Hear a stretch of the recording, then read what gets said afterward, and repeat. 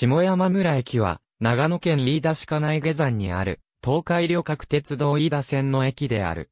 かつては、製紙会社、天竜車工場への通勤客が利用していたが、近年は飯田おいで長姫高等学校の通学生が主な利用客である。また、飯田線の南側から飯田高等学校へ通う生徒も利用している。単式ホーム一面一線を持つ地上駅。飯田駅管理の無人駅で、駅舎はなく、ホーム上に待合所がある。1日平均の乗車人員は以下の通りとなっている。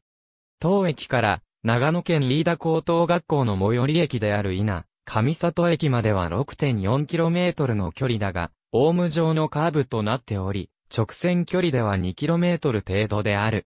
また、飯田駅で列車交換を行うために20分以上かかる電車もあり、飯田高校の学生の中には当駅で一度電車を降りた後に走って移動すればもう一度同じ電車に乗れると、駅間をダッシュして登校する学生もいると言われる。これが、究極超人 R で紹介され、知られるようになり、俗に、下山ダッシュと呼ぶ。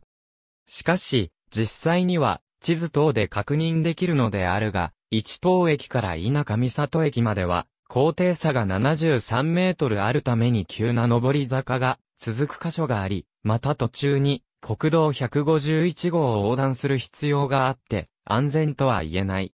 二等駅から稲上里駅へ向かう場合、飯田高校は、稲上里駅の手前に位置しており、再び同じ電車に乗る必要がない。時間に間に合う、という可能性はあり得るしたがって、若干の誤りを含んで伝わっている可能性がある。